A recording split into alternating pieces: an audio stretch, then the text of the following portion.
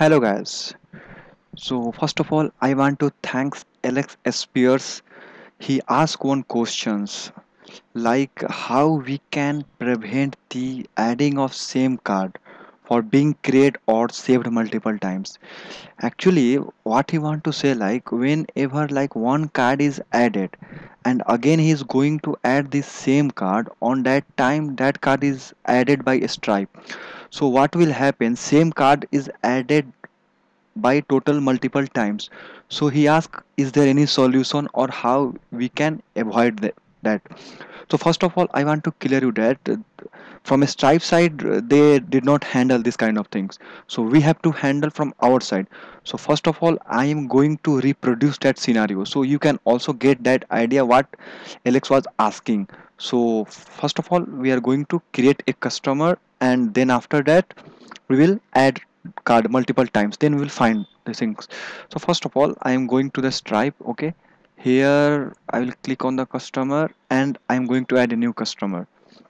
So customer name i'm going to give abcd at the rate of gmail.com and you can give description as a test.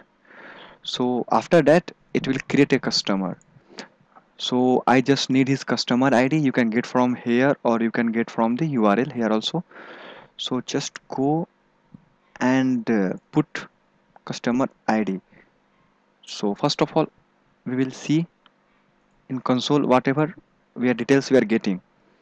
So after running we can see here. Here we are getting data as a null but customer ID we are getting. Now I am going to add a card so we already know how to add the card. If you don't know just watch my previous video.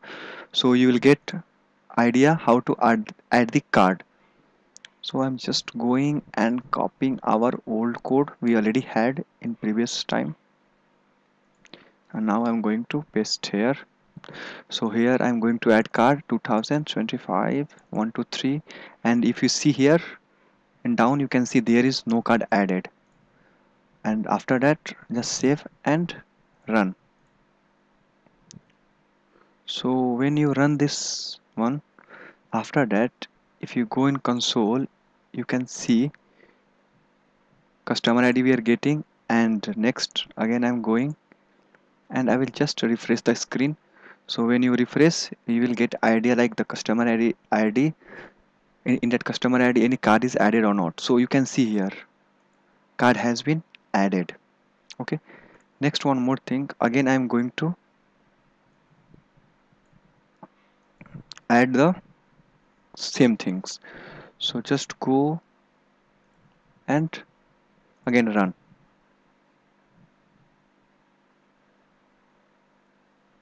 After that you can see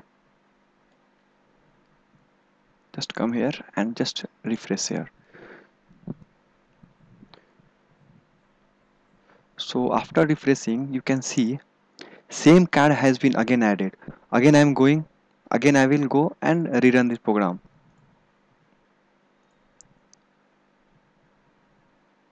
So just come and just refresh the screen. So this is the problem. Like if one card is added and if you don't know how to prevent that one same card has been has been added multiple times. So he want a proper solution. So i'm just going to provide a solution. So if you see here same card this is also same card. Okay? And one more thing if you are thinking like something different here i'm going to change the year as a to 26 and just run. After running if you get successful just come and refresh here